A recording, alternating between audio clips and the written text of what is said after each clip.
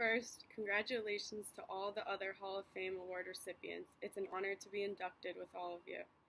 Thank you, Seacoast United, for honoring me with this award. I'm sorry that I can't be there with you today. In 2009, when I first played with Seacoast United, I would have never imagined that one day I'd be inducted into a Hall of Fame.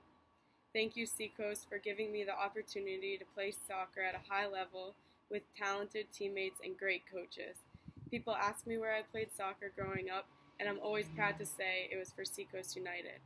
In my first year at the club, I was lucky enough to play for Dave. Dave showed me what I was capable of and made me believe in myself. My luck doubled when I later had Ian as my coach. Like Dave, Ian was an incredible coach. He took over right where Dave left off, making us all the best players we could be while having lots of fun along the way. Ian, I'm not quite sure what made you think it was a good idea to take a group of U16 girls over to the UK for 10 days, but to this day, it's still one of my most memorable soccer memories. I won't give his name, but one of the two Burgess brothers took our team up to Canada and got stopped and searched at the border because of his expired British passport.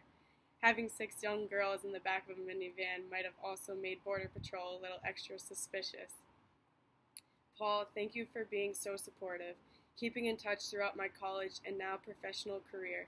It's special to know that the club I grew up playing for is still behind me, supporting me every step of the way. Thank you to all the girls I came through the club with. We always knew how to have fun, even when we were stuck out in Epping on those 20 degree nights freezing to death. A huge thank you to all the team parents who spent countless hours driving us to and from practice and flying all over the country with us. You are our biggest fans and our loudest cheerleaders. A special thank you to the Days, Smiths, and Trembleys who are here today. Coach O'Brien and Coach Chasen, thank you for dedicating so much of your time to our high school team and for being here today.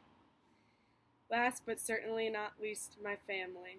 I can't express enough how grateful I am to have had my brothers and parents beside me every step of the way. Mom, thanks for always telling me I played a great game, even if it was the worst game of my life. And Dad, I always know no matter what, I'll have you as an extra coach on my sideline, even when I'm all the way over here in Australia. I'm very thankful that God has blessed me with the ability to play soccer, that I am able to continue to play and chase my dreams. I will never forget Seacoast United and everyone who has made this journey possible for me. Thank you.